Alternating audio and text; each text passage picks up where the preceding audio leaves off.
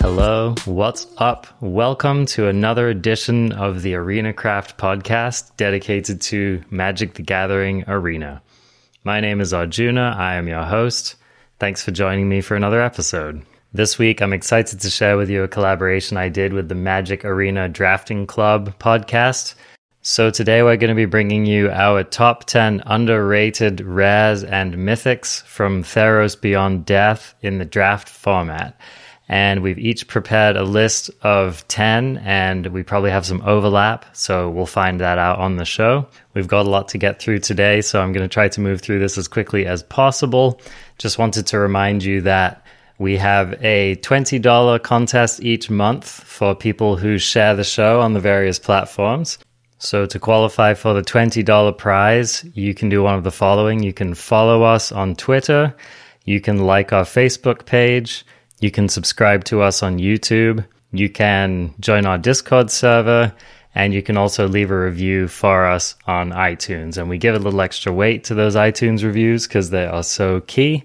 So feel free to do any one of those things to enter into the chance to win a $20 drawing. I really appreciate everyone who's done that so far. It's made a big difference. And a final thing I wanted to note was thank you for everyone who's been contributing to our Discord server. It's been a really fun place to be lately. Lots of deck list discussion.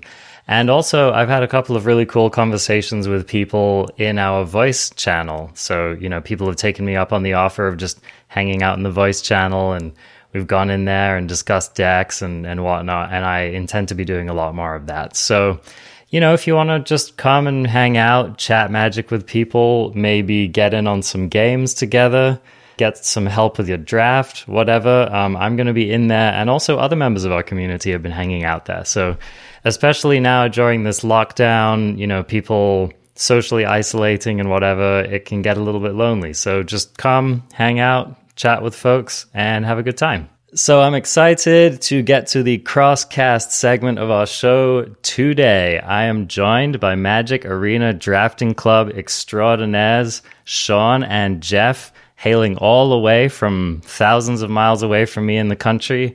How are you guys this morning? Hi, we're doing good. How are you doing, Arjuna? yeah, I'm I'm pretty chill out here on the West Coast. Now, remind me, where are you guys based? I know you're in the Midwest somewhere. Well, we're both from Minnesota. That's where we met. Okay. Uh, back in 1990. Nice. And uh, I'm still here. Uh, Sean moved out to Oakland. Oh, Yep, okay. I'm in California. Oh, right on. Okay, so you're you're with me on the on the Pacific time there, Sean. Yeah, he's making us get up extra early. You notice? Jeff, if, if I didn't love you so much, man, it, it, this Saturday morning business would just be out. You know what I'm saying? I got to do it because I drink my like 14 cups of coffee by this point, and then I'm, I'm about to crash in one hour. So I got to get all the talking. all out of the way right, now. all right. We, we got to make it count right now. Sean, sounds like you're not feeling that well today. So, you know, we're just, we're going to have to forgive Sean if he's, you know, just a little bit on the quiet side. But um, you're a super champ, man, for showing up today and, and making this work. I would not miss this for the world, even if I have to lay here with my mic on mute, listening to the two of you. I would do it.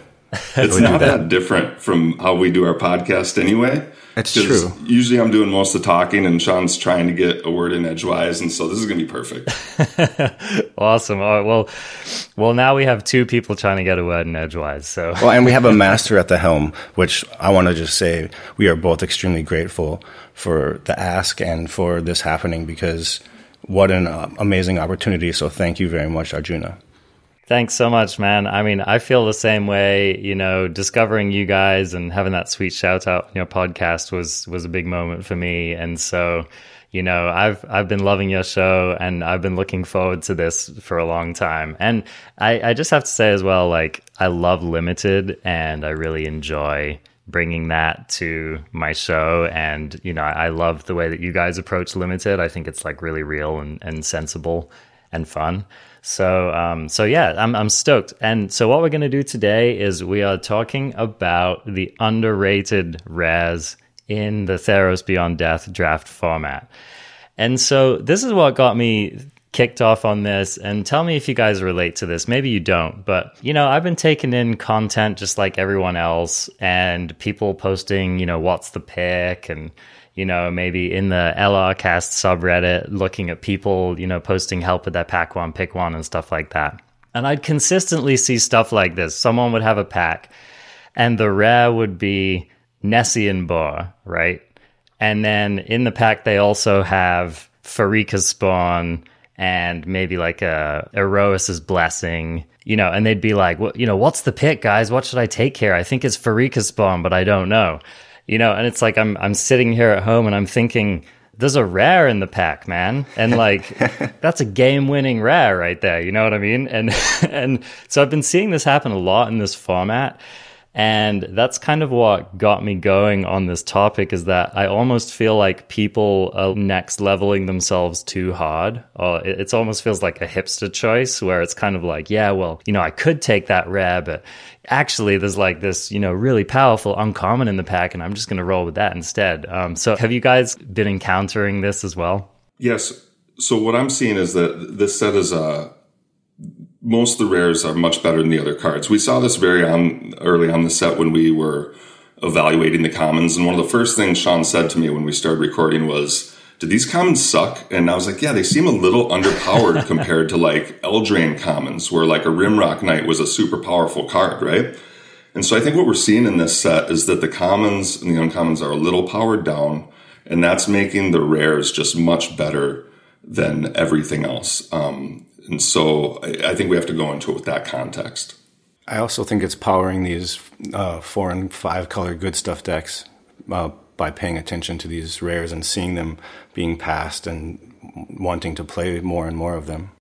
I totally agree. Another thing that I've been noticing is that I feel like people get caught up in this mindset. So a lot of the uncommons in the set will provide you with some kind of an engine or will provide you with value or will will do good stuff like Shimmerwing Chimera. Yeah, perfect example. You know, that's a perfect example. Furious Rise, that's another great example of an uncommon that just it pull it makes an average deck a great deck. Totally. And so I think that this set has done a really good job of of having these uncommons that are powerful that do good things for you. And so I think that that also pulls people in this direction of feeling like well, you know, I can build a whole deck around this uncommon. You know, like if I take this like a like a rise to glory, I've done that. I've early picked, you know, a couple rise to glories and been like, I'm just going to get every or a removal I can find. You know? Totally. Oh, Hateful Eidolon. That's the card I was trying to think of, right? Totally, totally. I've gotten into trouble gone going down that road too much. Yeah, right. And so they'll see one of these cards and they'll remember that sweet game where they got like three Mire's Grasps and a Hateful Eidolon and whatever. And they'll be like, oh man, you know, maybe I should go in that direction. And they'll ignore that they've just got a broken rare in the pack or just a rare which is an above rate creature with an above rate ability that you're just not going to get on any card at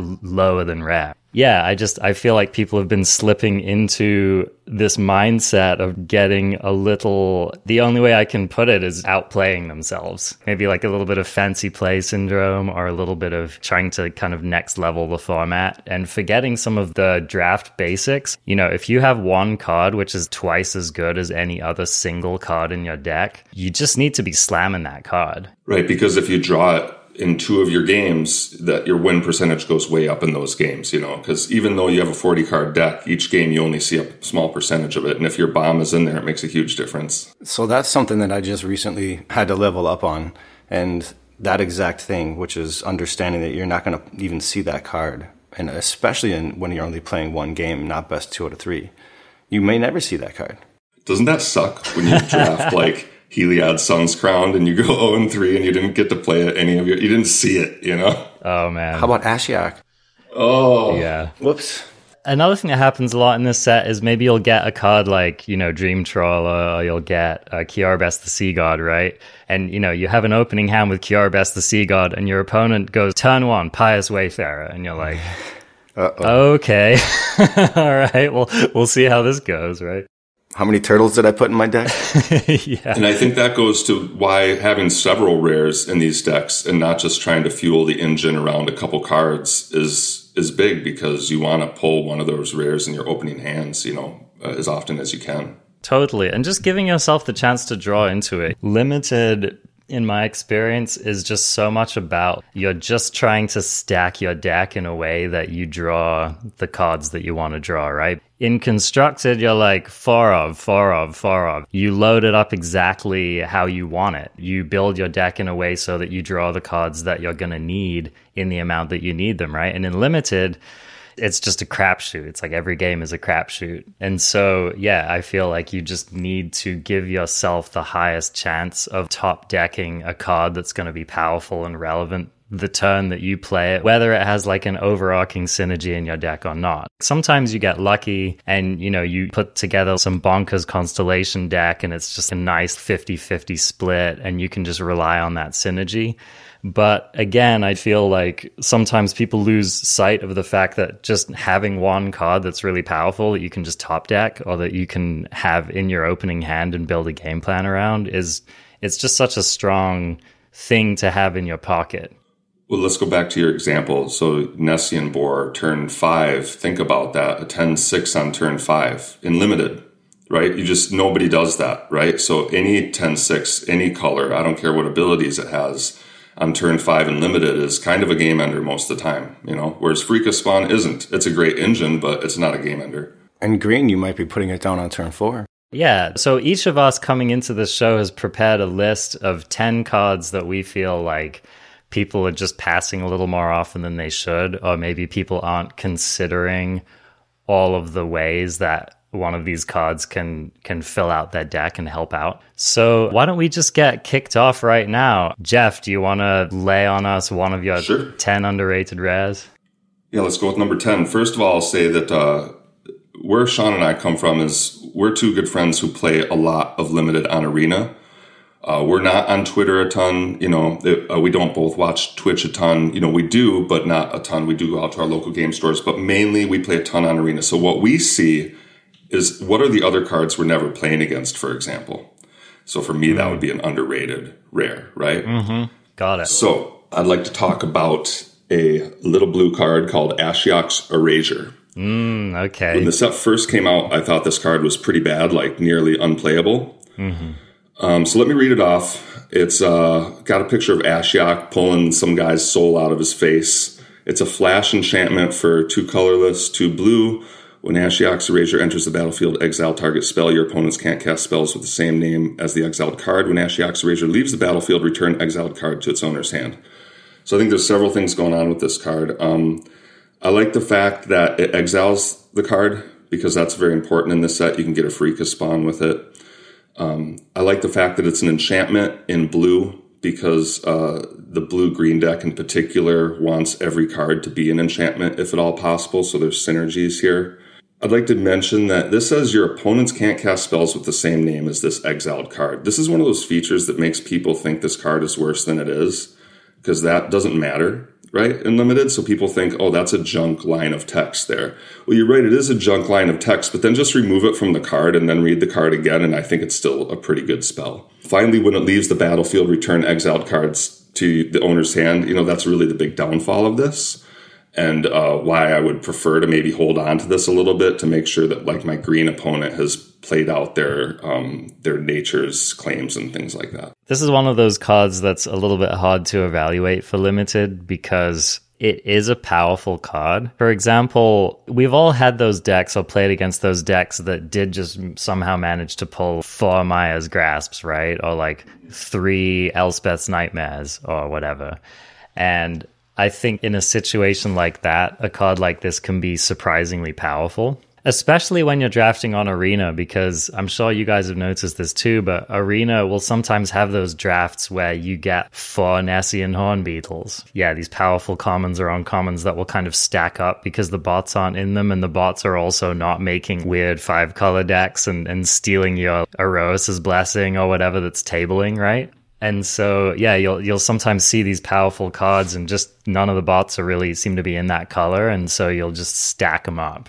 Right. Like I think you can get 15 Omen of the Deads and 15 Travelers Amulets in your limited decks on Arena right now if you really want them. Like, can you can you imagine like someone's playing the five color good stuff deck and like on turn four they try to resolve their amulet to get that fixing right. going on and you just snatch it the dumbest counter spell ever. That sounds great. It's a meme right there. Yes. Did either of you have, have this stupid card on your list? it did not make my list. Yeah, no, I think most of these cards are going to be narrow. I think that's kind of the idea of it. Yeah. Um, but this one is extremely narrow, Jeff. I would I would like to say I would take uh, Pharika's Spawn over this, but I still think it's an underrated card because I never see anybody play it, and I have played it and I've had it be a pretty good card. Yeah, I think the obvious issue is you got two other spells that do the same thing that pretty much that are one's cheaper and the other But the the deny the divine only gets creatures and enchantments, which is which I have found to be a little uh, irksome. yes, That's true. Nice word. Well, and plus, no one ever expects the Ashiok's Erasure. You know what I'm saying? Nobody, That's true. nobody. That's true. I could see it like for a dreadful apathy. I could see that being a nice move, right? Get get one that's on the board too. Does it does it work like that? so, because I think you have to cast it on a spell that is on the stack. On the stack, Right. Yep. Yeah, right. That you know that would actually be pretty sweet if you could just slam it down on whatever, kind of like a, a Ixalan's binding kind of an effect. Yeah, then you'd both have it on your list. Yeah. Oh, baby, dude! I'll tell you, I was like, I'm I'm a buyer of Ixalan's binding. That was one of my favorite cards from that. I set. love that card. I tried to make a bunch of standard prison decks out of that card. Like I'll just lock out four of your best cards from the game with my four of. I love that card. Sean, what about you? What's what's one of your ten underrated rares? I'll take um as number ten. I'll take Labyrinth of Skophos. Oh, yep. That that was uh, number eight on my list for sure. Yeah, so I see this rated as a D in some people's. Um, I, I, I kind of went around and looked at some people's ratings too to get an idea of what other people think. I don't do that very often, but I did a little research and and I, I can't believe it was a D. That kind of blew my mind, especially because I've used it to kind of remove some of the bigger problems in the game many times. Mm, hmm So I, I mean, it's not it's not a it's not an A, but um, it's like a poor man's liar. That's what the way I like to think about it. And it's colorless. It is. You know, I'm going to go out on a limb here. I might get flamed for this. I think Labyrinth of Skophos is better than any uncommon in the set. All right. Yeah. Ooh. That's my hot take. Now, I'm I'm going to give you a few arguments as to why, all right? A, a lot of people think about this card as being a removal spell for the opponent's stuff. That's only half of the card, right? Right. It can also protect your creatures, and it can also make blocking a nightmare for your opponent. Think about an example like, let's say you have like a Rage Scarred Berserker that's just coming in at your opponent. Five four, it's a pretty big boy. And they have like a, a kind of a typical limited board of maybe they have a Pharika's spawn, and maybe they have a couple two threes or something like that and they're looking at your Rage Scarred Berserker coming in, and you have a Labyrinth of Skophos, and they're like, "What am I supposed to do?" You Yeah, know you what I can't mean? double block anymore. That's right. You can triple block, but Yeah, may, maybe you know. It, it's a nightmare. You know, if you also have a combat trick, or if you have anything else, it's there's no, there's literally no way for your opponent to to win that. It's insane in in a lot of green decks because, well, first of all, because you have a lot of big creatures, um, but also because I one of my favorite cards in the set is Nylea's Forerunner. Gives all your creatures trample, and Labyrinth of Skophos is insane with trample. I mean, you just remove a blocker from combat and your creature still gets through. I've never lived the dream of putting this together with that red uncommon that can fight a creature if they're trapped in the labyrinth. Have either of you, either of you ever done that? I've never pulled it off. Have you guys? No, but that card wheels, which is one of the reasons why I think that that, that you should think about taking this card. I mean, and it's a land, so it's going to make every deck. And everything you just said was brilliant. Like I- haven't actually done the removal on the blocking side of it, but that's brilliant. It's just so good. I mean, here's a third case scenario. Like, imagine you do swing in with your Rage Scar Berserker and they block it and they play a combat trick, right? And you're just like, Okay, remove my creature from combat if I need to.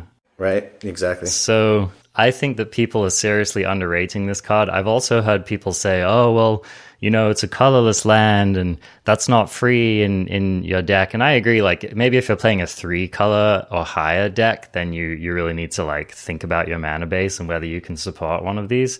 But I would go in the opposite direction. I would say like a land, which is also a removal spell. Like, are you kidding me? In limited, that's insane. You might even play 18 lands uh, with this in your deck uh, in some cases. Sure. Just kind of consider it your remove a removal spell. Sure. I mean, if you have a higher curve, I think that's totally fine, you know? Which I think this wants to be in a higher curve because I do believe the best scenario is you're in a big stompy deck and they try to double block your creatures and you just take away that option. Totally. And it's a mana sink, right? So if you do end up flooding out a little bit, but you get your labyrinth, then there you go. Like that's something you can spend five of your mana on every turn. So yeah, I, I love this card. I'm I'm really glad that that uh, you brought this one up. So that's how you pick them, Jeff. Just so you know. Yeah, not on my list, by the way, guys. Um, how you do it. Too easy of a pick. We got to go deeper, guys. Ashiok's Erasure. I think we can all agree that's the okay. What's next? Who's next? Arjun is up. All right, all right. So I'll I'll head off with my number ten on the list, Dryad of the Elysian Grove. Nice. Okay. All right. All right. Here we go. So I think a lot of people look at this card and they just see a two four for three, and that's it. And Yep. I definitely agree. Like in some decks and in some cases, that's all this guy's going to be. Okay, let's say I was already in green and, you know, I've got a pretty strong start and my pack two, pick one has the Dryad of the Elysian Grove in it, but maybe it also has a, like a Warbriar Blessing or some other card in green that would just be a stronger card overall in my deck. So I'm not saying that I would always slam Dryad of the Elysian Grove, but I think especially as a pack one, pick one, people really underrate this card. So let, let me give you my pitch for Dryad of the Elysian Grove, especially as a card that you can build around. So first of all, with this whole five color deck being a thing in the format, Dryad is just like one of the best enablers for that deck. And you know, okay, it's weak to removal, right? I'm not saying that it like doesn't come with its fair share of liabilities, but you know, if someone has to waste a removal spell on your dryad, that's really not the end of the world. And if you just think about when you have this guy out, you can just your mana taps for anything you want, right? And even in the average limited deck, that can come up sometimes, right? So even if you've got a two color deck, how many times have you had that opening hand where you're in a two color deck, you have three land of one color. And so it's just, it becomes surprisingly relevant to unlock all of your mana to be able to do whatever you want with it. I think that's a really underrated aspect of the card.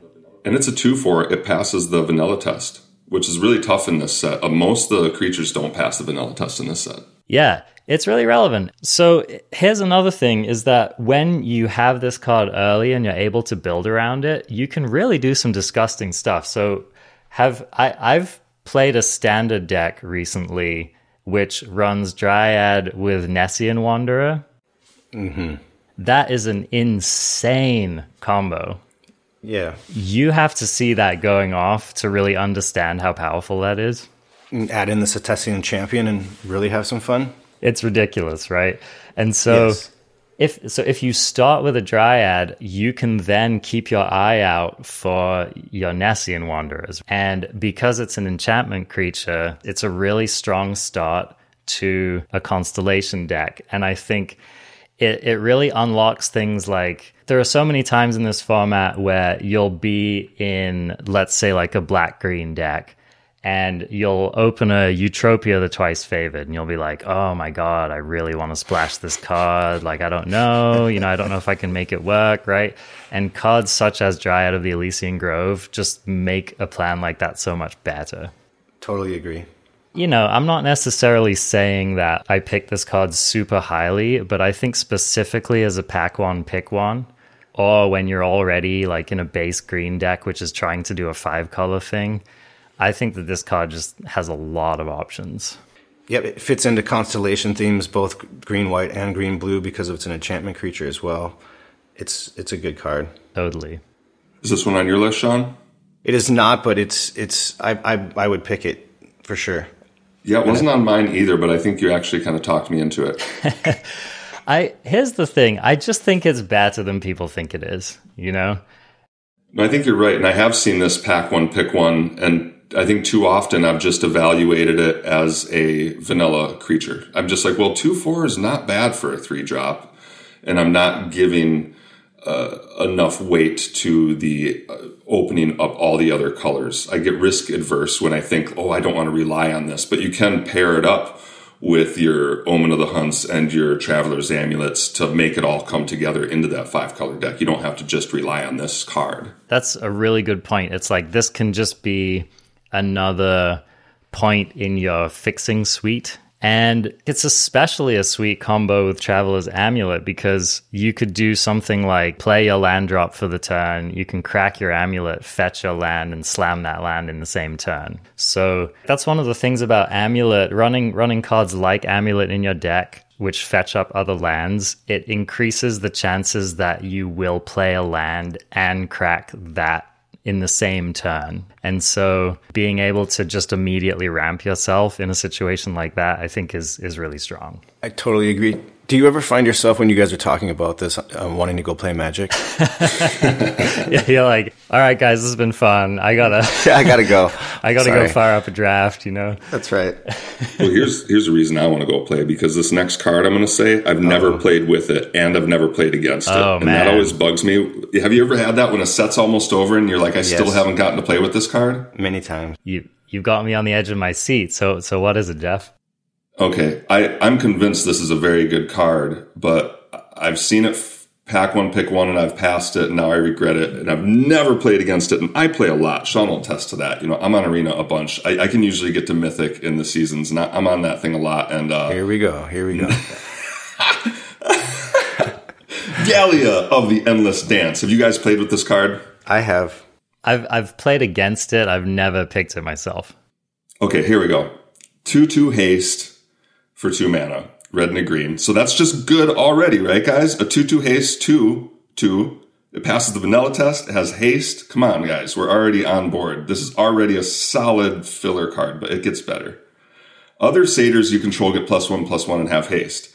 So I don't think you'd want to go as far as putting in those little, uh, uh, that, that red uh, escape uh, card that makes little. Yeah. Yeah, I don't think you're doing that. but I mean, there's there's other things going on here. You got Anax.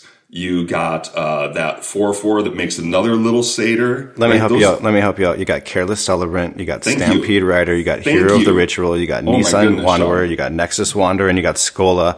Oh, the Grand Sean. Dancer. Thank you. You're welcome. You. That's no this problem. This thing is a hero. Okay, now you also got uh, whenever you attack with three or more creatures, and by the way, you're attacking with all these satyrs. Just Sean just talked about. You may discard a card at random. If you do, draw two cards sounds great. So, you, you know, obviously you pitch your land, you draw two cards. And you want this to be in a more aggressive deck, maybe a little leaner than your average red green deck. Maybe you're not looking at that super high curve five and six drops. Maybe you're looking at a little leaner version. But uh, I think this card's really good, and I've never played with it, and uh, I want to. Yeah, I I agree. I mean, card's bonkers. I think you know one of the only reasons I pass this card so much is just that I don't tend to be in uh, Gruul that often. But I mean, I think that if you're in Gruul, it's a slam dunk. And, you know, I would first pick this card out of like a weak pack. You know, like I probably wouldn't first pick this over a Mire's Grasp, but I think. Yeah, see, I think that's where I've been at and why I haven't gotten to play with it because, you know, on, on Arena, it, the downside of arena is that in pack three you don't get past a bunch of cool rares right? If you draft in, in paper or on mtgo people are going to pass you their rares in pack three because they're not in their colors. And so you might end up with like a couple extra cool rares in your deck. On arena that just doesn't happen. So you don't get a card like this halfway through pack three because everybody else passed on it. And that's why you kind of have to first pick it right? And I, I aspire to that someday that's such a good point i think this really highlights it's one of the places where you most feel the difference between arena drafting versus not. Because you're so right. Like the, that pack three, you know, wheeling, or uh, tabling crazy rares and all that kind of stuff, it just never happens in arena. Yeah, and I think that it, it cuts like almost whole archetypes out of the arena experience, which is, you know, it's it's one of the bummers of drafting on arena, let's be real.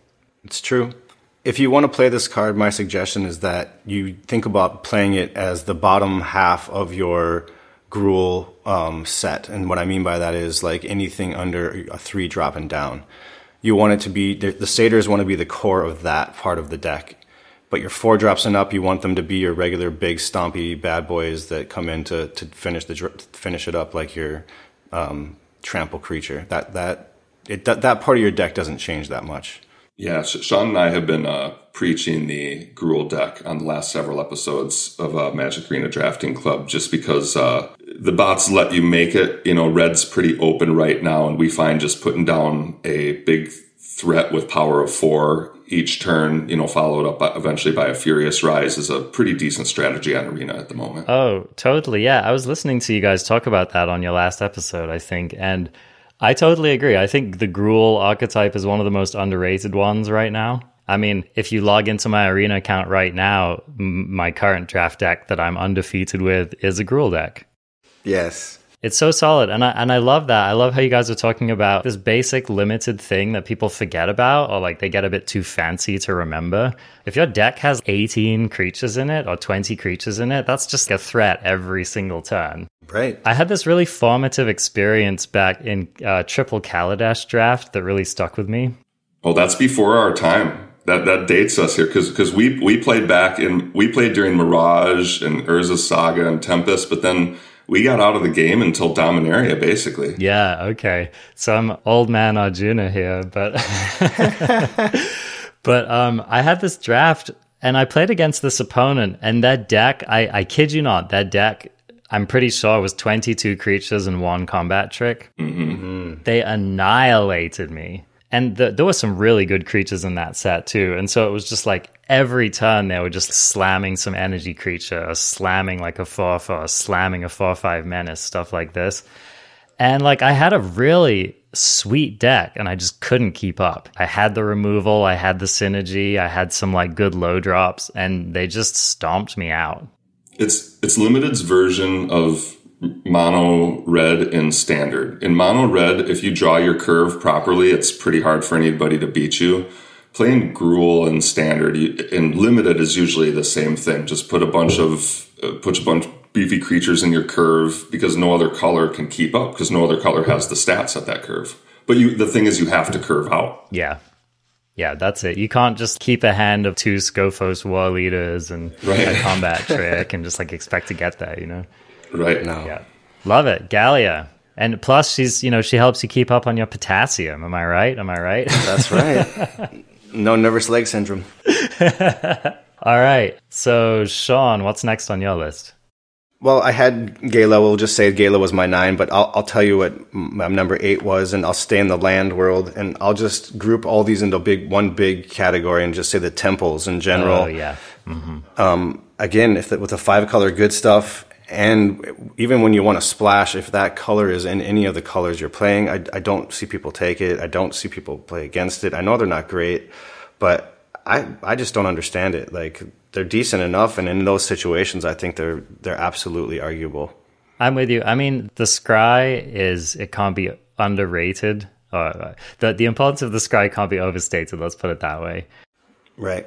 Yeah, I've been hearing people saying you should take these scry lands above a good playable in your deck, which I think is like a pretty strong endorsement, and I think that's where I'm at. If it if either side of it's on color, I'm gonna take it pretty highly. Maybe not removal spell highly, but I, I think that they're really good. I'm completely on board. This was going to be uh, my number seven. So originally, when I was putting together the list, I thought it'd be a fun troll to just put all five of these on the list, but not admit it. So like I would say, I would get to my number five and I would say one, and then you guys would be like, "Now do you put them all in there?" I'd be like, eh, "Nah." Then I'd get to number four and I'd say the next, and I would just go all the way up because I agree that these are maybe the most underrated of all the rares. Uh, splashing, but also just the scry. And I do think you only need to have one on color uh, for it to work. You're usually not playing anything on turn one in this set anyway, unless you're playing white. And I would say if you go by like the limited resources uh, grading scale, I think this is like somewhere between a B minus and a C plus as far as uh, ranking it against the other cards in your deck. It's going to be better than most of your common filler. And it should always make your deck. Yeah, there you go. Should always make your deck. Totally. And again, just underscoring the importance of lands and limited. It's like a free card. Yeah, if your land can do anything for you other than tapping mana, you should strongly consider that. But I'm kind of disappointed you didn't do that, Jeff, because right. I'd love to hear you. I want to hear your power rankings. Like, what are your temple power rankings? You know? Oh yeah. Well, white would be at the bottom, okay, right? Okay. And since the buddy lands are in here, that would be what blue, white, and green, white. Probably green, white would be the the weakest one. Yeah, because right? because white's the one color where I want to play a pious wayfarer on turn one, and I don't want my stupid land to tap. That's that's compelling. That's compelling. So then you have to go with the grindiest color last, right? So blue black is going to be probably the best one because in that one uh, you're going to be able to wait till late game. So it's going to be somewhere around there. Nice, nice. All right. Well, you know, follow up with Jeff if you want the full. that's, that's, a Patreon tier right there. You know, right, that's right. exactly right. Yeah. I guess that brings me to my next one, which is Nyxbloom Ancient. Now, this is my first mythic on the list. I'm not selling Nyxbloom Ancient as like you just need to slam this in in any green deck or whatever. But I think that a lot of people look at this card and they just pass it over. I do. I, you're gonna have to talk me into this one. Okay. And you, you definitely talked me into Dryad, so I'm excited to see what you can do here to me. I've I've always thought this was an unplayable card. So yeah. Well, uh, the common the common mythology is that it is unplayable, and I will say like I've played this in two decks, I think, in across the breadth of the format. Okay. But I think another thing that people forget sometimes is that mana, being able to do stuff with your mana is really powerful. So here's an example of a deck that I put Nyxbloom Ancient in where it was just totally busted. I had a really excellent escape green black Golgari escape deck, and I had a bunch of escape creatures, and with Polukranos being at the top of my escape tree. So, you know, another mythic, which admittedly doesn't happen that often. But what I was able to do in this deck was that by the time I was slamming Nyxbloom Ancient, I usually had a pretty stocked graveyard and a couple of escape creatures. And I also had Polukranos, and I had another I had another handful of creatures that also had activated abilities. I had a Skola Grovedancer. Uh, I had a couple of those in my deck. I had some Mogis. What what's the guy who sacks creatures to draw cards? Oh, the, the Minotaur. It's the, the two colorless and a black. Yeah, yeah, yeah exactly. Yeah. So I so so what happened was I was looking at my deck at the end of construction, and I was like I have a lot of activated abilities and I have a lot of escape and I have a lot of ways to turn mana into advantage. I'm going to try running my Nyxbloom Ancient. And every time I played that card, it was game over. It was it it was just done. So if you've ever had the the joy of being able to play Nyxbloom Ancient and Polukranos on on the board together, it's disgusting. It's literally disgusting.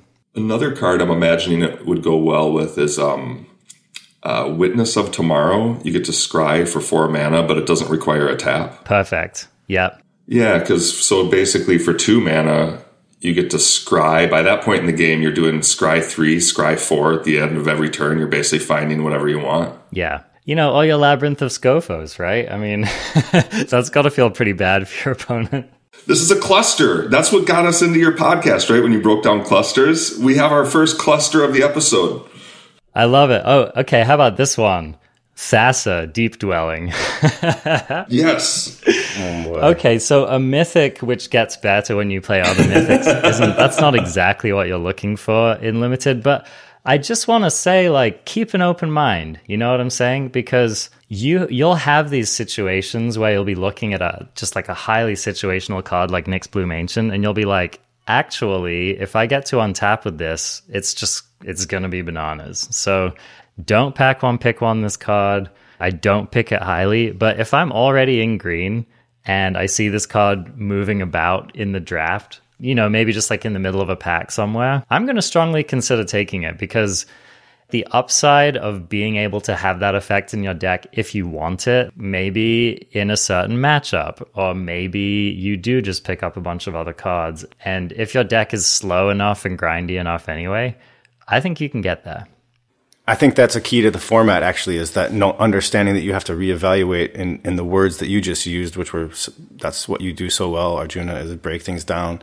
Um, but like doing that is you. I find myself doing what you just said almost after every pick in this in this draft um, than I did in any one before it. Having to reassess and reevaluate each card and what it does and how it affects my deck and when I do that, I, am by far more successful than when I just say, "Oh, I'm I'm already in these colors. I'm just gonna right. stay in these colors." Or this is just a good common. I'm not gonna reevaluate it in the context of this deck. Totally, yeah. Card evaluation is so important in this set. I, I can't remember the last time like the course of a draft would change the value of cards for me so much like it does in this set.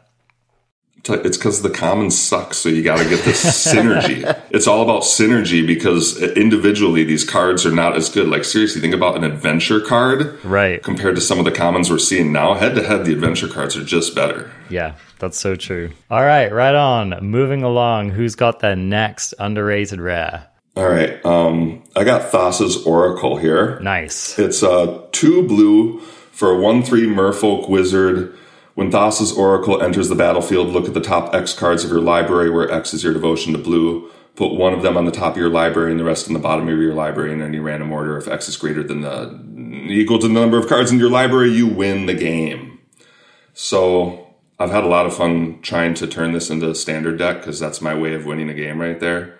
Uh, and I didn't have any luck there, but I do think in limited I've had much more luck with this. And the fact that it's just a one three that scries you two on turn two to me is already like very much good enough um, in a set like this to dig for your more powerful cards since this set is all about rares and synergy and getting your engine going.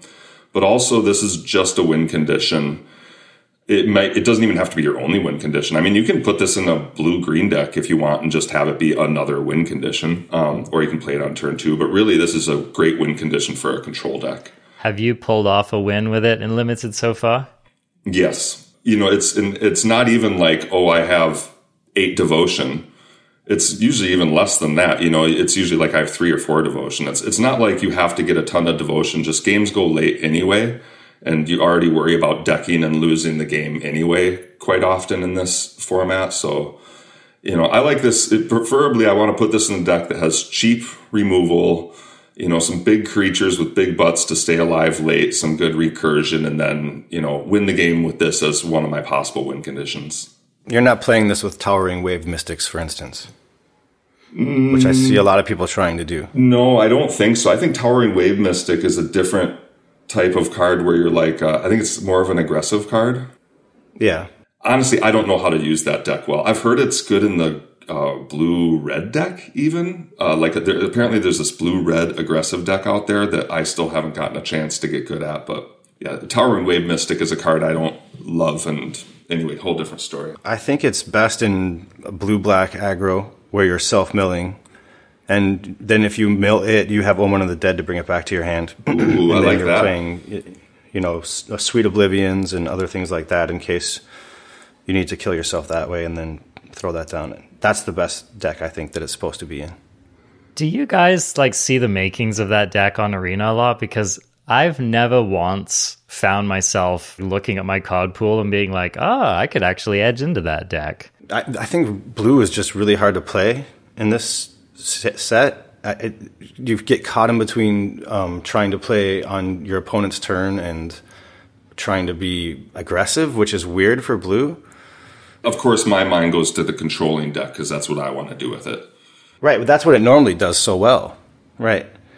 Um, so that's where I get caught with it, and I, I, you don't see the pieces. I think you're right, Arjuna. You don't see these pieces very often in the draft, but every once in a while I do. Like the Sweet Oblivions will come around, and um, you can kind of make it work. I think this is one of those decks that you might just see a little bit more on Magic Online, right? You're probably going to see a Thassa's Oracles moving around the table, and and I think you also won't have bots that are like in blue that are just snapping up Towering Wave Mystic. You know, like I think there's a lot of a lot of people in in a real life draft will be in blue and they'll uh, they'll just pass that to one because they're just like nah my deck doesn't want that right and then there's like someone else at the table who gets three of them or something and they're like okay cool i can go into this deck but i i don't yeah i just don't feel like that happens as much on arena we're all to have to adjust soon right they're they promised uh uh, real drafts on Arena a, a, bit ago, and now it sounds like they're getting really serious about it because they're saying that's the ultimate uh, form that the cube is going to take. And sounds to me like you know maybe within six months we're going to see uh, some eight person drafting on Arena, and that's uh, it's going to be a lot of fun. Oh, I'm so stoked. I literally cannot wait. I really hope they make it possible for you to choose like these eight people to do oh, a draft. That'd be so awesome. To get your oh. buddies together to do a draft on oh get some podcasts together. That's yes. right. That's right. We're actually joining uh, another podcast uh, is doing a um, little invitational this weekend because nice. nobody's going to tournaments, so they're hosting an invitational on Smash GG. So I'm bringing my uh, standard Merfolk Secret Keeper deck. Ah, that's right. It's going to be ahead of the format once I show it to everybody. oh, God. The Simic Adventures thing with the Secret Keep has been catching on, man. Has it? Oh yeah. That's because I made Sean. I told you I'm um what do they call that when you're the first one in like a, a pandemic, for example? Not that that has anything to do with what's happening in no the world correlation right now. to current events. uh, Agent One or something. There's a name for that. Um, yeah, Patient Zero, I think, or something like that. Yeah. I have a time stamped too, so we can go back and listen to the podcast where I revealed it. You know, back to Thassa's Oracle. you can you can claim it. Um, yeah, Thassa's Oracle. It's just good because you can draw a card. Yeah. Yeah, and the, I mean, this, it's just good on its own. You don't need to win the game with it.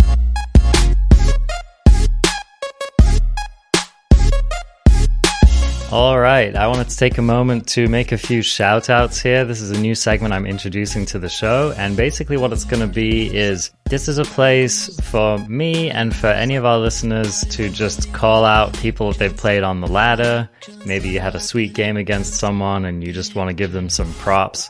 And so I've made a channel in the Discord for this called Shoutouts. And so feel free to just drop any shoutouts you want in there, and I might read them on the show. Here are mine for the week. I wanted to shout out to Antarctica 77. I had a, an epic match with this person on the ladder uh, playing best of one, and I was playing the five color Niv Mizzet Fires deck, which uh, Rich G from the Mythic Legendaries podcast inspired me to play. I've been a big fan of Niv Mizzet and uh, the Reborn version, of course. Ever since they printed it, I've been building these random five color decks, and I think now is a better time than ever to be running it. So I, I was playing this five color Niv deck, and my opponent was playing a blue white control deck. And despite all the amazing value I got out of Niv Mizzet and Hydroid Krasis and all kinds of shenanigans. My opponent was just able to grind me out via a combination of a million counter spells and a Fae of Wishes going into the wish board. And I think they wrathed me like five times, including a bunch of wrath from the wish board. So anyway, this is just a really sweet game. I almost came down to decking, but they resolved a finale of glory in the 11th hour and killed me anyway. So that was a really amazing game. And uh, another awesome game that I had was uh, Kenny B. Ross, I believe. And I was playing in a Simic Ramp matchup, same five color deck. We this one also almost went to decking, but I, I was victorious this time, and I was able to work through multiple iterations of the Thassa Agent combo through uh, using Teferi to bounce my stuff back to my hand, having to wrath the board once with a, a Fae Wishes, grabbing a wrath from the sideboard and I was finally able to get there against them. But it was a very close game. So thanks to both of you guys. That was a really good time. Yeah, feel free to leave your own shout outs in this channel, and maybe I'll read them on the show. All right, back to the programming.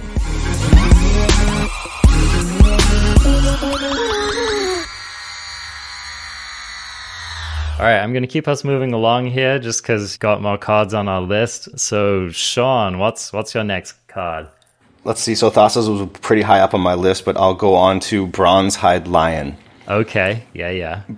Bronzehide Lion. Um, I think we all know this was a, a, a white green um, for a three-three lion that if you pay white green, it is indestructible. And when it dies, it becomes an enchantment that enchants one of your creatures that has the text if you pay blue green, I'm sorry, white green, it is indestructible. So I like this card a So lot. don't need to win I first picked it. a few different times, and I've I've found that it really does and can work quite well as a two drop. It's already pretty far ahead of the game.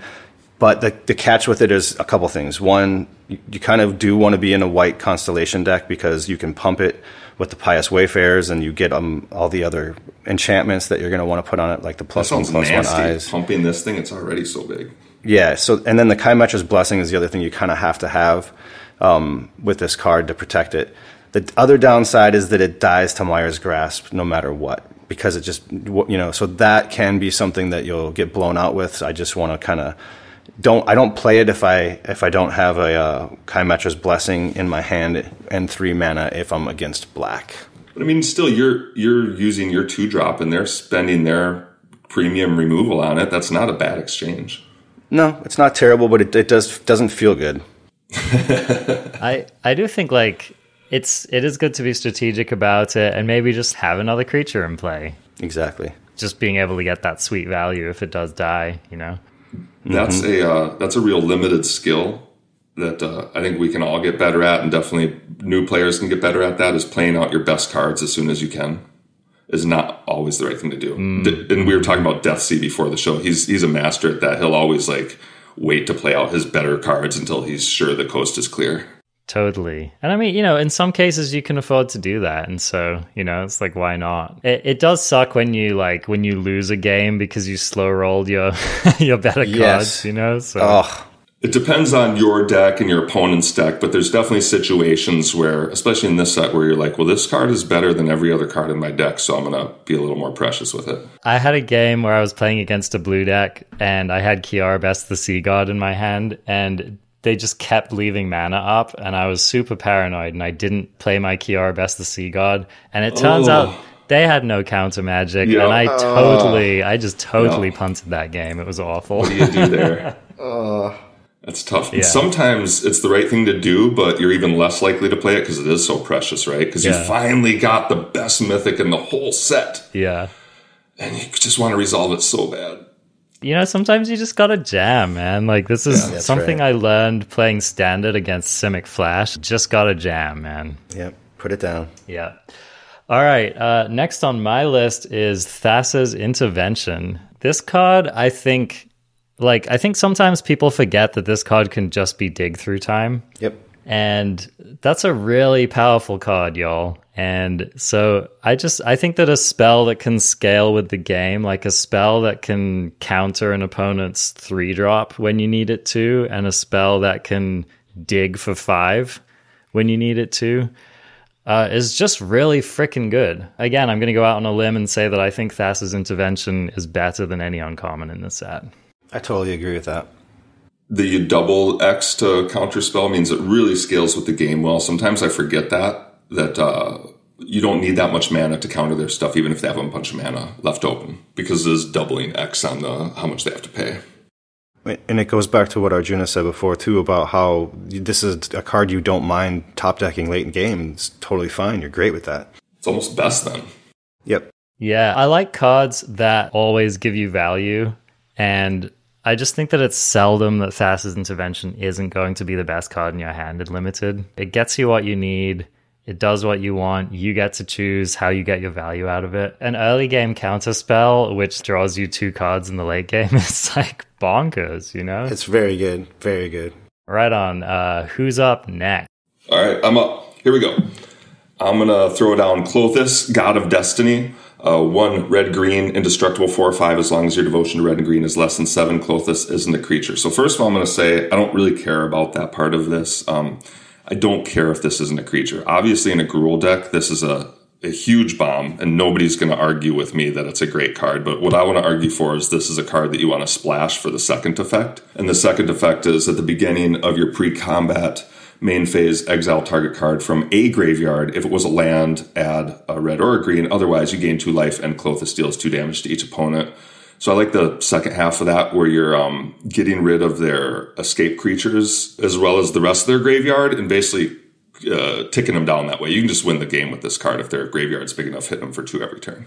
I just faced against a deck with Klothys the other day, and like they got it down on turn three, and I was just, I may as well just concede right now. Especially if you're relying on any escape creatures. Yeah, it's broken me a few times in this in this set too. It's good. It's really good. It's indestructible, man. it's yeah, like, it's just it's not fair. You know what this card is like? It's like on turn three, your opponent resolves an indestructible Pegasus that's just online every turn. you know? yeah, I love this card, and uh, you know, I almost put on Heliod Sun Crowned on the list just because I think that's splashable as well. But I thought that was a little too much cheating since it's a single color card and just everybody knows these gods are good. Um, but this god in particular, uh, I, I think you can just splash it and treat it as an indestructible enchantment for three mana that could eventually win you the game. Yeah, I would jump through hoops to put this card in my deck. Sean, next up. I've got uh, I, this one might be controversial a little bit, but I've gone back and forth with it too, but I'm, I'm going to throw out the um, the Wavebreak Hippocamp. So whenever it's just a, a three drop um, in blue, whenever you um, cast a spell on your opponent's turn, draw a card. Um, so have you guys played against this card, or have you have you ever drafted it? Uh, I'm I'm a big buyer on this card. I've played with it a lot, and yeah, I think it's insane. Yeah, and especially if you're going into that deck, anyways. But you don't have to be. And I find it. Um, maybe you tell me if you found this to be true too. But I almost found it better um, when you're in either the five color good stuff deck. It's one of those cards you really want to have, or um, just if you're playing um, green blue and you're and you're just playing the enchantments that you want to play in that deck anyways. It's just on on their turn, draw a card, get a land and hey, I'm going to draw another card for doing that. Why not? And if you've got this, um, this that fish in play too, then you're tapping down one of their creatures every turn, or untapping one of yours, which no one ever uses it for.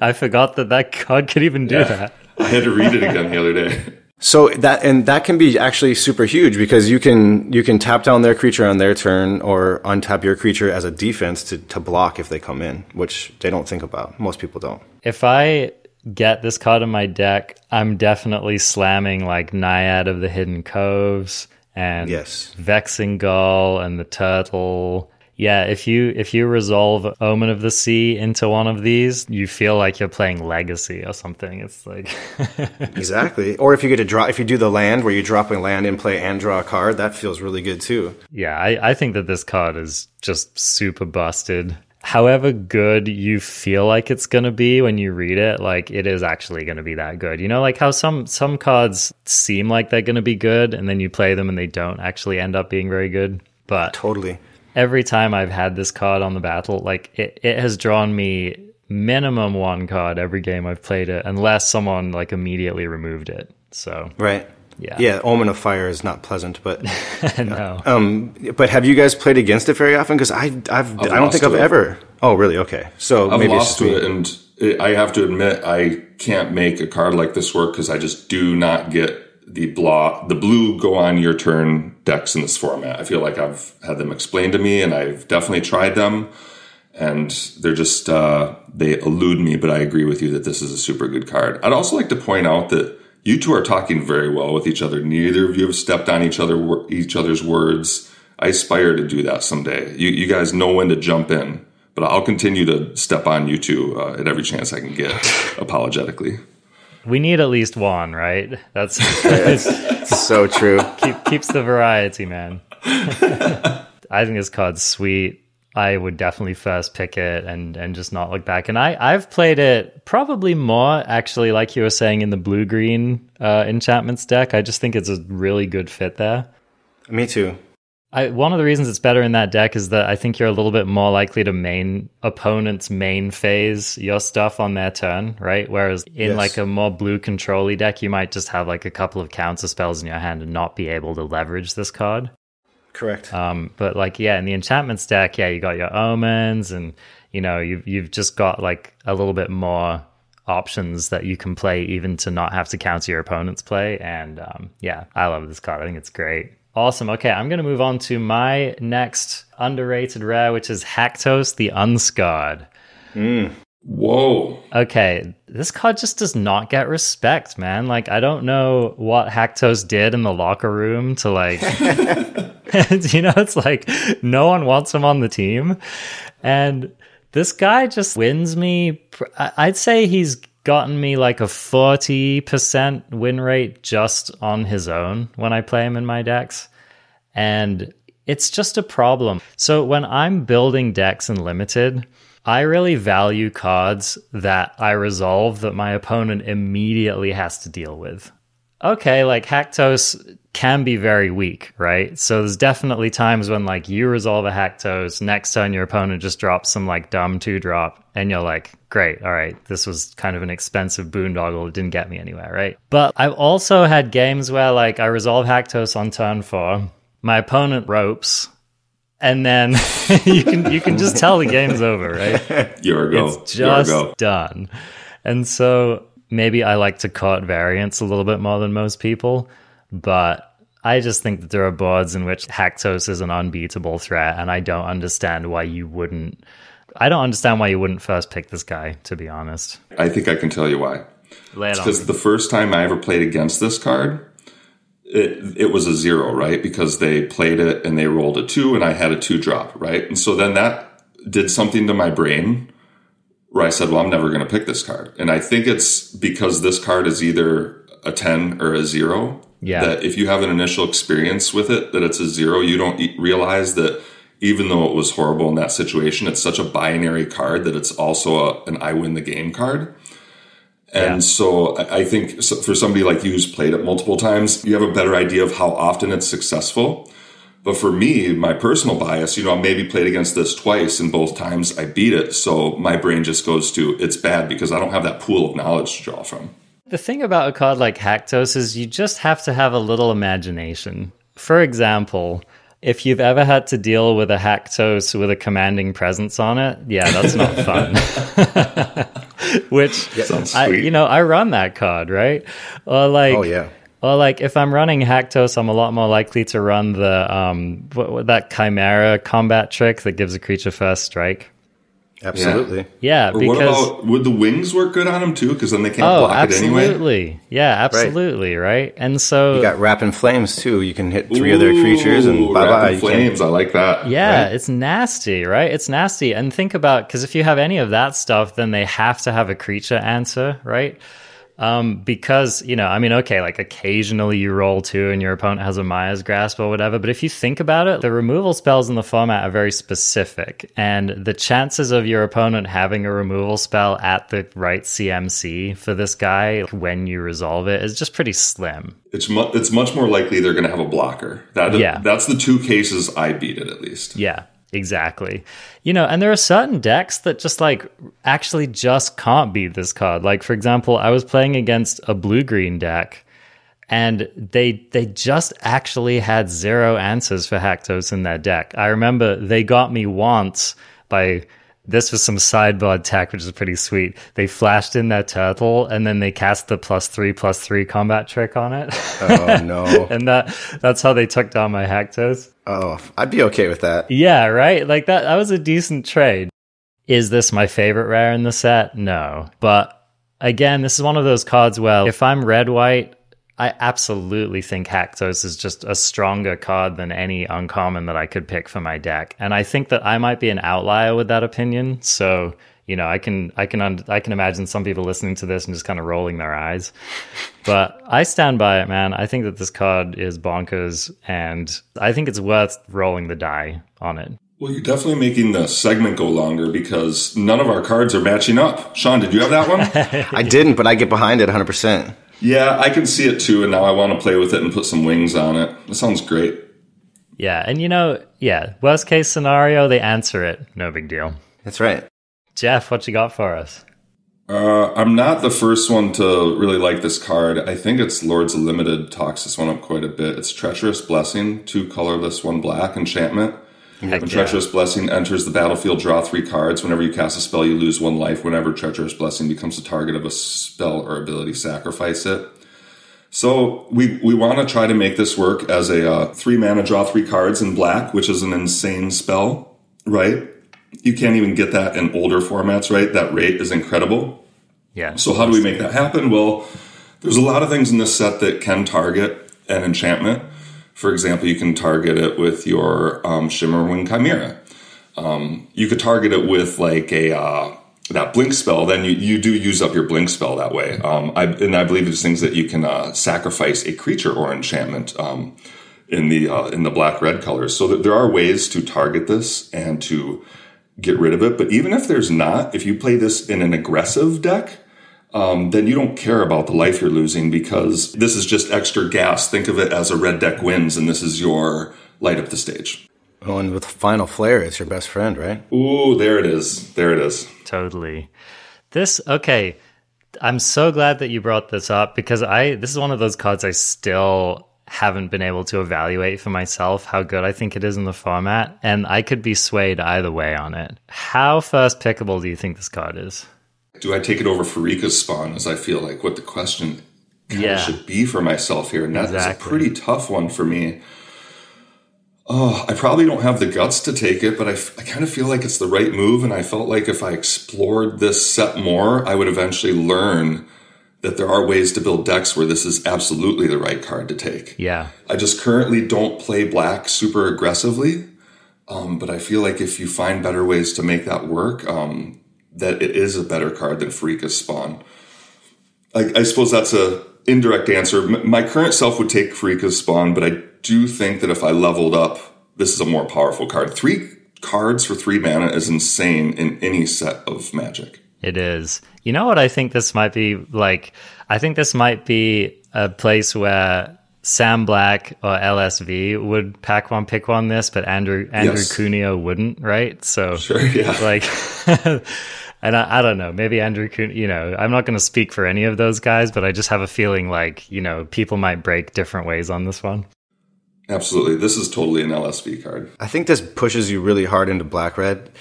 You kind of have you kind of have to be, and and for better or for worse, from what I've found, maybe this is wrong, but I think black red is by far the worst color pair in this set. And so I have not been able to make the sacrifice deck work in any way, shape, or form. And people who play against me, I generally beat.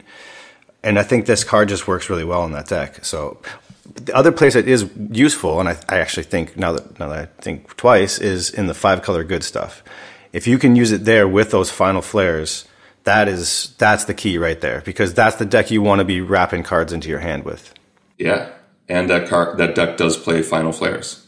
You know, this is another one of those cards where I actually think the earlier you pick it in the draft, the better, because it just gives you more opportunities to build around it. I probably wouldn't just throw it into my random deck running black, but it is one of those things where I almost feel like pack one, pick one is like the best place to take it because then you have the entire rest of your draft to decide whether it's going to make your deck or not. But yeah, I, I totally agree with you, Jeff. I think that this card is super powerful. And like, I think the drafter who is able to put this in their deck and actually make it work has such a leg up on the competition. So yeah, I think this I think this one's worth getting out of your comfort zone for and figuring out where it works and where it doesn't. And I totally think you can get that with it. Here's another thought I just had: is to put this in the uh, in a white deck. You know how most good white decks in this set are aggressive and mostly white, and uh, things like Pious Wayfarer really like it when you play an enchantment. So what if this is almost like the top part of the top of your curve of a white black aggro deck? It triggers your Pious Wayfarer as well as fuels you, and you don't care that you're losing a little bit of life because you're the one on the aggression anyway, and also that deck does have ways to gain small amounts of life.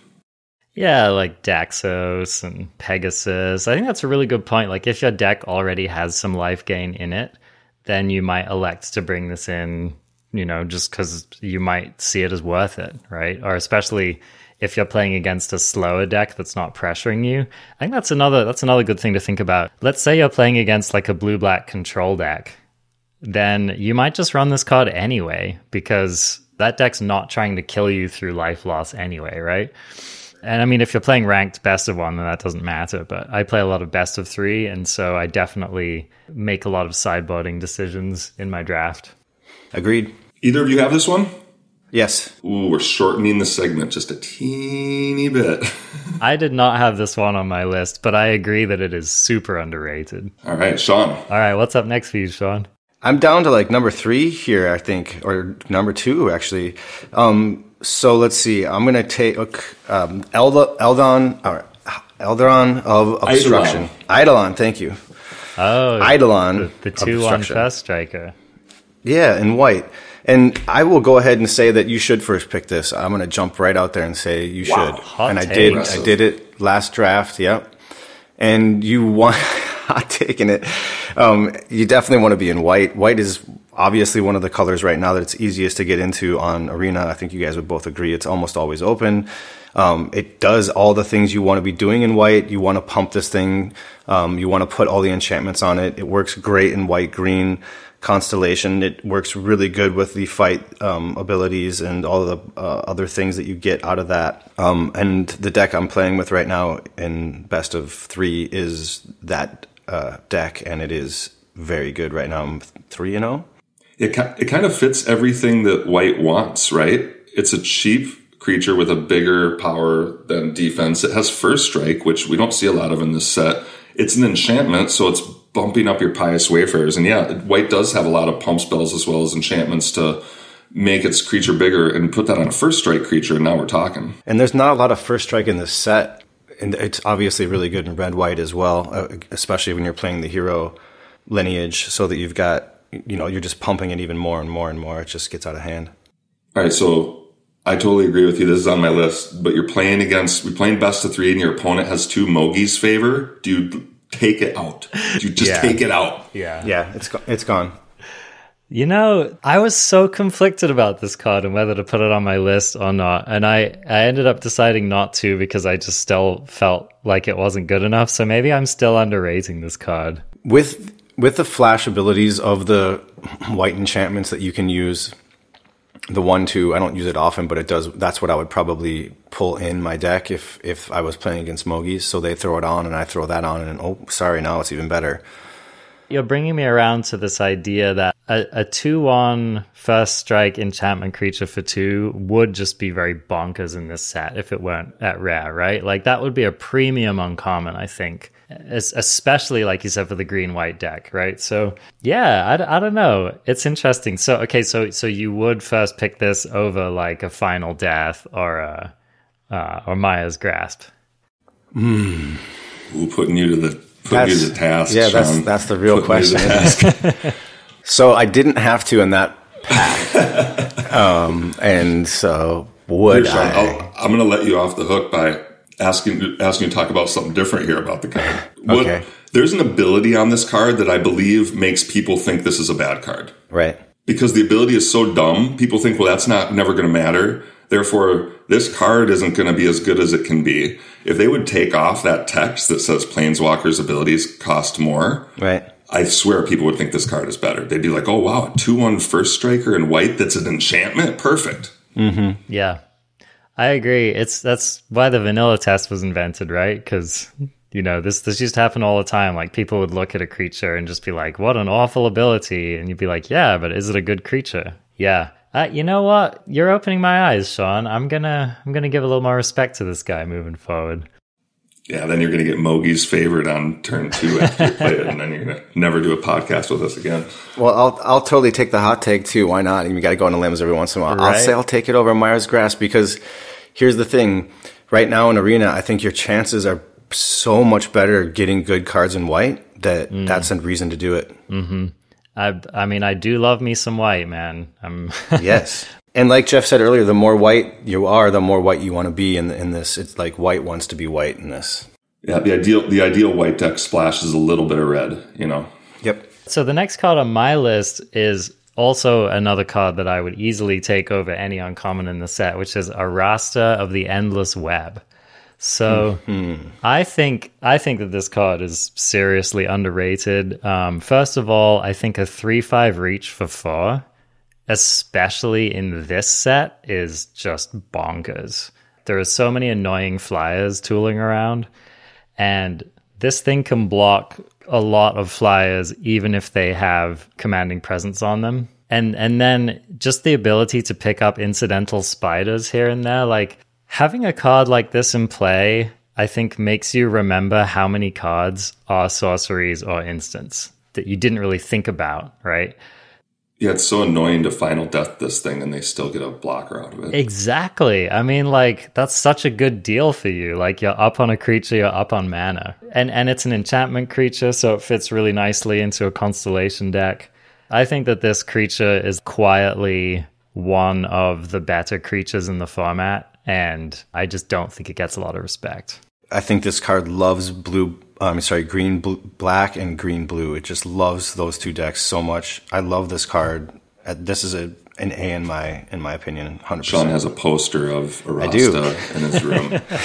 two of them. Praise to Arasta every morning. There's like a bunch of unswept spider webs around it. oh, my wife would kill me. Does she make you kill the spiders or put them outside? Um, outside. My wife makes me kill him. Kill it! I have that one too. That's a quite a good card, and it passes the vanilla test, which again most creatures in the set doesn't do, but it also happens to have like three other great stats to go with it. All right, what what you got for us, Jeff? I got Storm Herald, two colorless, one red. This is a uh, human shaman, 3 2 haste. When it enters the battlefield, return any number of aura cards from your graveyard to the battlefield attached to a creature you control. Exile those auras at the beginning of your next end step. If those auras, auras would leave the battlefield, exile them. Instead. So, yeah, the auras go away forever. I saw uh, Caleb MTG play, trying to put together a super cool old modern deck with some cool Eldrazi aura that I'd never seen in my life with this card before. So, it's, uh, Eldrazi constri- conscription, yeah, yeah, it's it's neat to like have these periods of time I never played, and then to see these players pull these things out and make them work with new cards. Yeah. Uh, anyway, uh, so it's already a three-two haste for three in red. So we need to just think about that first. That you know, a lot like in a white red aggressive deck having a, th- a three power haste creature is just good. I don't think there's another three power haste creature for three in the set, for example, to show you how like premium that is. But this aura uh, attachment, people were getting me with both Warbriar's blessings as well as Iroas's blessings with this thing. And it just wasn't all that hard to do. So what I think you're looking at with a card like this is the the downside isn't that bad. A three two haste is already like a C, maybe a C plus, and uh, but the upside is very high if you have just a couple blessings of either type in your deck, where this thing then comes into play and removes your creature and attacks. As a fan of commanding presence, I think that this card is super sweet. That's the thing. This set's so full of enchantments that make creatures good, or just enchantments that go to the graveyard, auras that go to the graveyard. And the ones that you mentioned are just a perfect example. And if you get to reattach even one removal spell with this thing, you're really doing it. And even if your fail case is just getting another swing in with your commanding presence, you know, on like your what, like five for haste first strike creature, like that's pretty good. It also, sorry to bring up Final Flare again, but it, it makes Final Flare just Ooh, ridiculously good. Nasty. Nice. Right? You suit them up, then you kill their creature, and then you attack and suit them up again. Oh, yeah, because it doesn't get eggs. Wait, hold on a second. If those auras would leave the bat, oh no, it gets exiled. Final Flare would leave the. Uh, oh no, Final Flare doesn't get exiled, but the. Right. Okay, yeah, you got it. But anyway, um, I know early on in the format, um, I played this card hoping to get the Mondo combo, and all I played was a 3 2 haster, and I was disappointed in the card because I'm like, oh, I didn't make it work. So then my opinion of it went down, and I stopped drafting it. Um, this sounds like a common theme. Right. Like, because if a card's already good, but it doesn't do the awesome thing, then all of a sudden you're disappointed in the card. Mm. But you got to keep in mind, this is still just a very good card. Mm-hmm. It's just a sweet pack one, pick one because now you can weight your auras really favorably. And you can you can do a lot of really subtle stuff with this card that you might not quite realize. There are just like a lot of random kind of dorky enchantments that might just give you an attack you otherwise didn't have, or might let you not have to spend your mana doing other stuff on that turn. So if you had a pious wayfarer in play, then you get the trigger off that. Oh too, my gosh! Just came into play. Can you imagine like having two pious wayfarers in play, oh, slamming yes. this guy, and having like a couple auras? And that's like bonkers. I try to explain how cool it would be to my family, and they just give me blank stares. They're just like, Jeff, take that spider out of your room. Get it out. How about turn three? You put that down. Turn four, you drop aspects of Lamprey turn Don't do it. Oh. five, Don't be that you nasty, sacrifice the Lamprey attack again, and so they have to drop four cards. Oh, I actually had an opponent do that. They they lampreyed me with the three two haster, and it was as filthy as you think it is. Like it was, it was disgusting. Ugh. So I only got one card left. Was either of that was that on either of your lists? No, No, no. I Had thought about make- it. Had to make room for the maze, huh? That's right. so what? All right, you're up, Sean. So so what's what's your last one, man? You got to hit us with it. Uh, my my number one, and again, I don't think I'm on a limb on this one, is Protean Thaumaturge. oh, I think this card is ridiculous. Yeah. I just think it's so good. And I don't think people think about, or maybe I shouldn't say that, maybe they do. I haven't seen it used correctly except for once, and I got beat down so bad by it. And here's what they did it was blue black.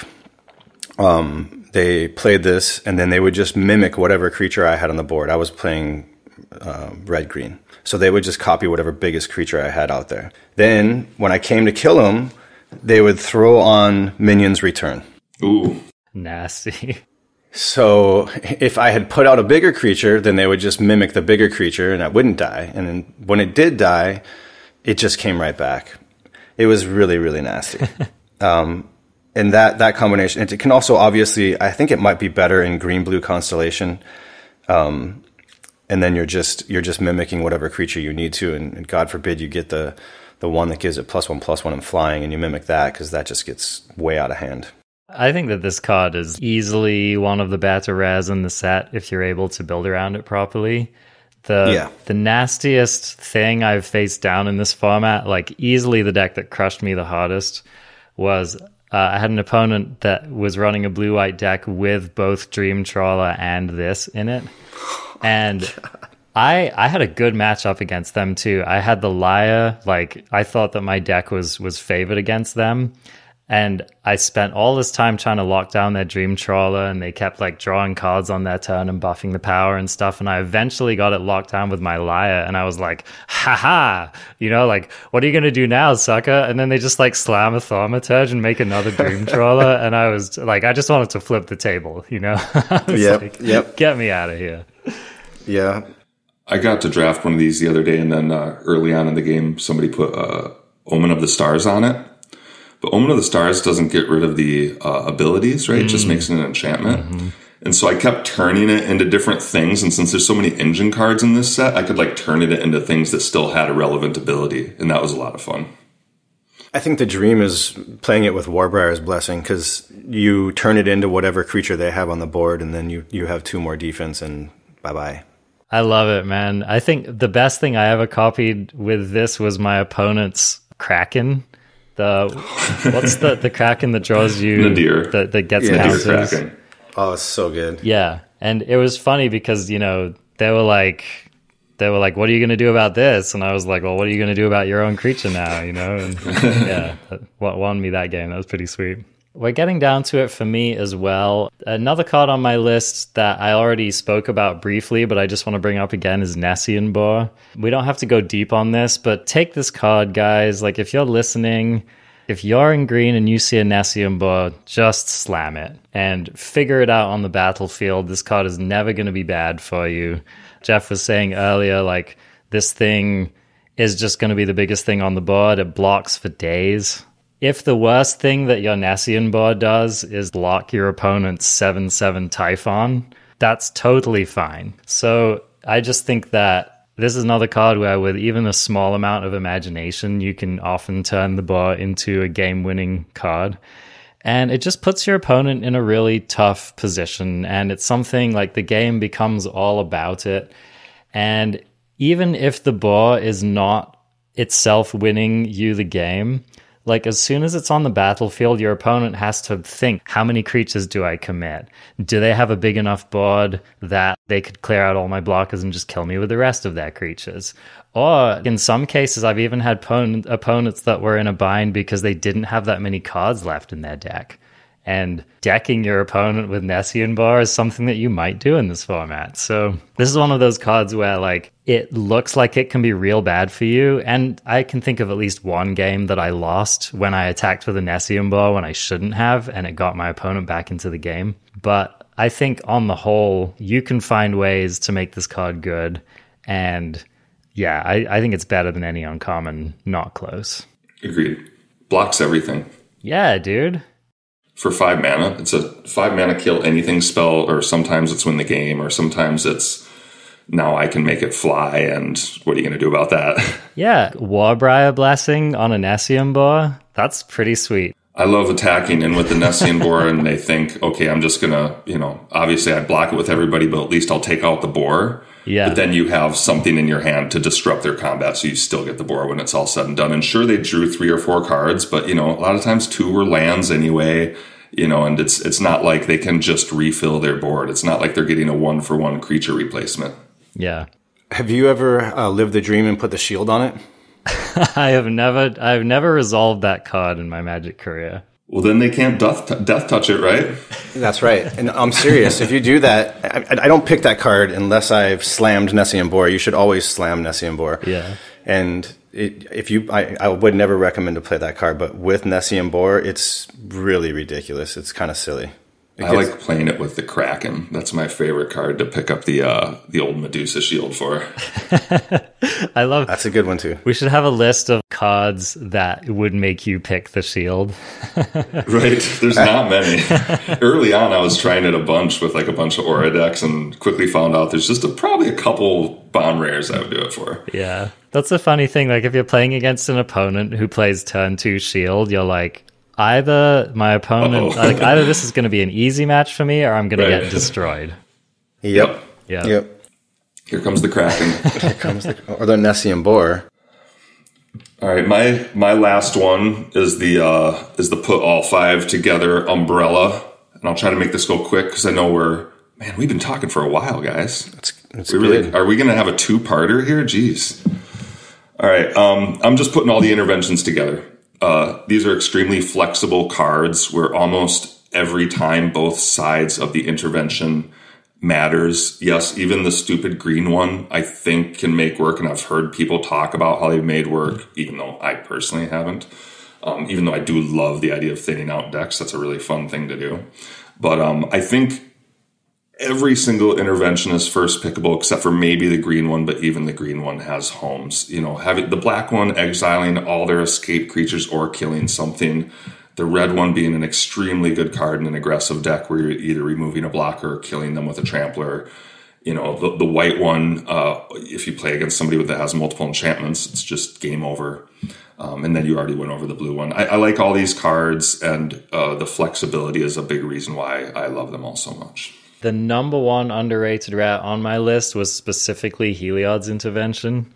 Mm-hmm. And I don't know, people have been talking about this card like it's not a windmill slam, and I, I just don't understand it. If you have ever gotten four for wand by this card, you know how good it is. People will say, like, oh, it's so situational. Like, what if my opponent's deck doesn't have any enchantments? Oh, well, that's really not the end of the of world. life. You know, you can gain 12 life, uh, you know, in the late game. That's, or if you're playing, you know, any version of white blue, uh, you can always just discard it with a shoal kraken or with a thirst for meaning. You know, that there are ways to cycle it as well. this gets into a concept and i'm not going to go deep on it but people will sometimes get this mindset. I think this applies to a lot of the cards i put on my list like Haktos or whatever. What in what happens in the situation where it's not good? What if it's not mm-hmm. good? Why would i run it in a situation where it's not good? People come up with this constantly. And and this reminds me of something Deathsie said. Deathsie limited god definitely authority on the topic.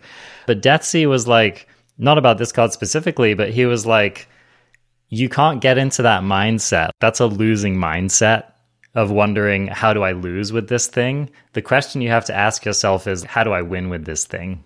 I'm, I'm guilty of that. I, I talk Sean out of cards because I'm like, well, 30% of the time, this card isn't going to do anything for you. So that's something I need to learn more about. Well, and I think that it, that it's proportionate to just how good it is when it does work. And so I think Right. Heliod's Like, this intervention can kill four things, right? Yeah, I mean, the thing is, the ability to just have it be a one-sided wrath sometimes is so powerful. And I'm a I'm a huge proponent of this card, and I I pick it early. I pick it whenever I see it, and the number of times it's been bad for me has been very few, and the number of times it has just outright won me the game is high. And it can just be a three mana disenchant one thing, which is sometimes fine. Like it doesn't have to kill three things for it to be a good card in your deck. Totally. I'll even go out there and say that if you're playing an aggressive deck, you might not consider this card, but this card is even better in that deck because when you're racing somebody and they think they're going to kill you and you gain five life and then attack back and kill them, and that's that's I've done that. I've used this card for that purpose exactly in one games because of it. It's very very good.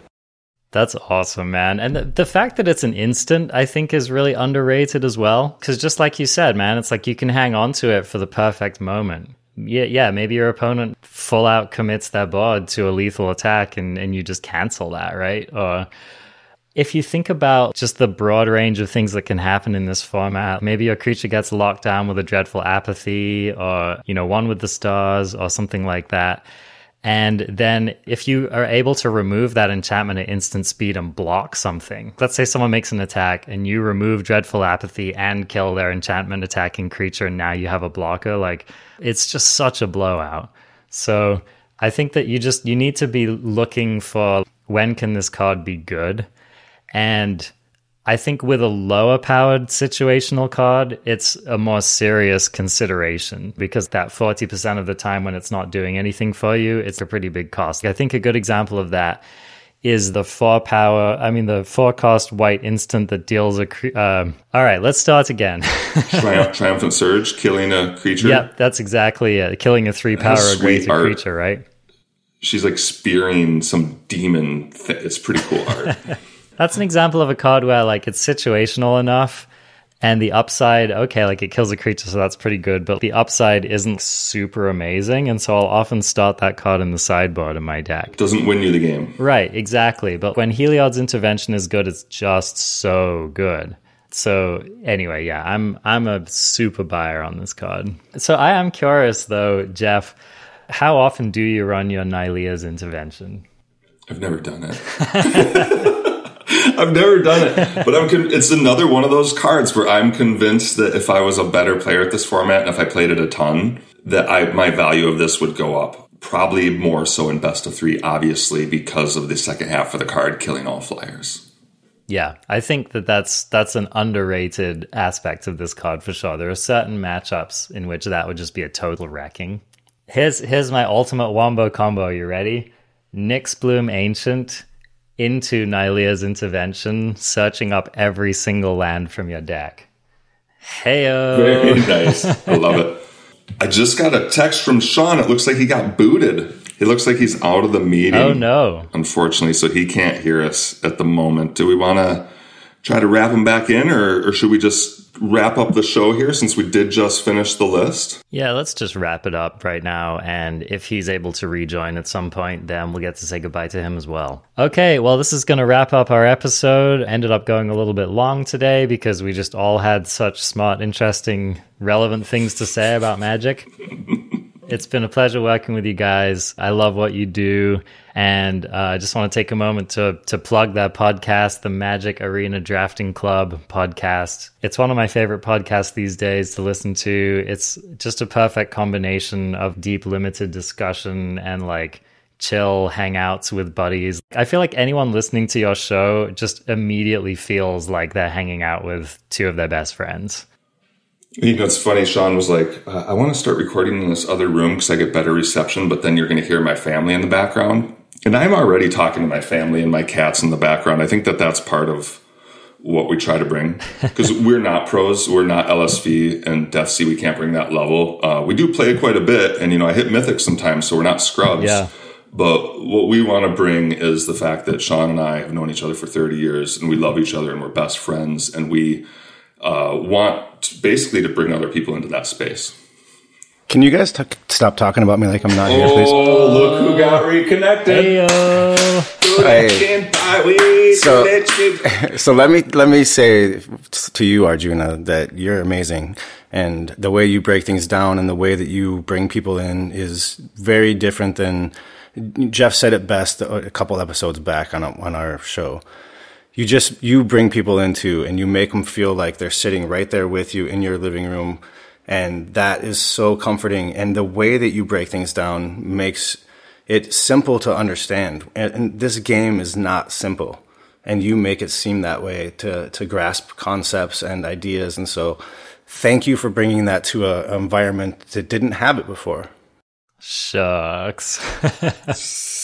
I'm, I'm, blushing over here. That's awesome, man. While you blush, we we just said a bunch of nice things about you and your podcast. Uh, I don't I don't know if you caught any of them, but you know, I, I did. I did. I uh, yeah, I, I appreciate you, man, as well. It's been wonderful working with you, and you know, like I said, I, I look forward to to doing a lot more in the future.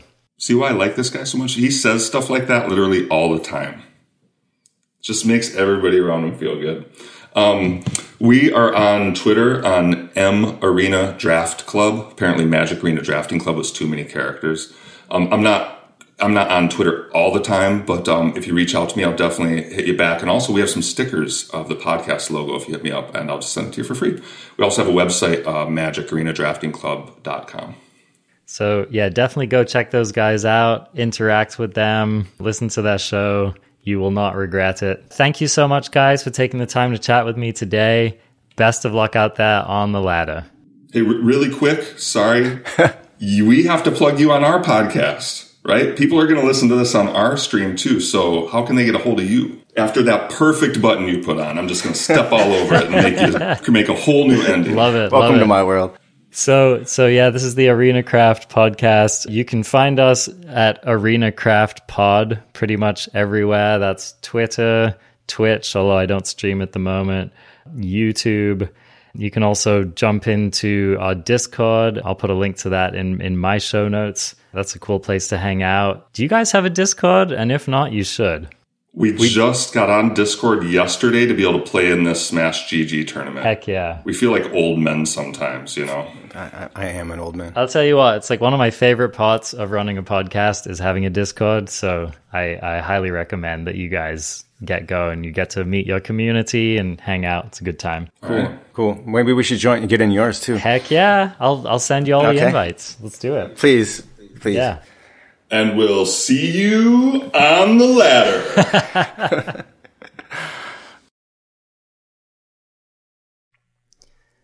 Thanks again for listening. I really appreciate you having here. You are the reason I do this. I love sharing magic content with you, so thank you for participating.